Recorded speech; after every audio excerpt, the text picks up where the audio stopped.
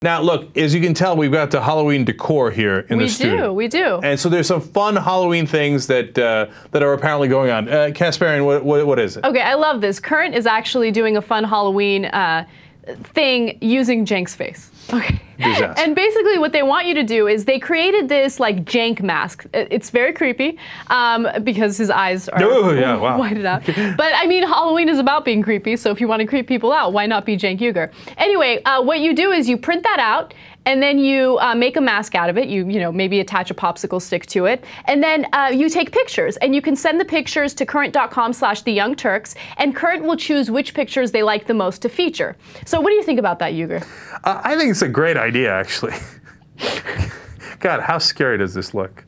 It looks like I'm going to be like, but you know what? Halloween's supposed to be scary.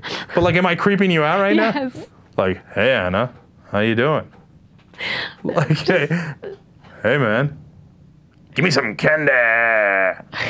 So then, so then what do you wear as the rest of the outfit, though?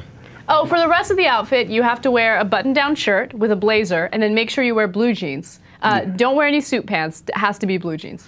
Yeah, I mean, you don't often see it here, but Right. whenever we're in the field, you'll see always blue jeans, always a jacket, always uh, A button-down. button-down shirt. Unless I got some TYT paraphernalia, Mm-hmm. which is what I had in some of the interviews uh, on Occupy Wall Street.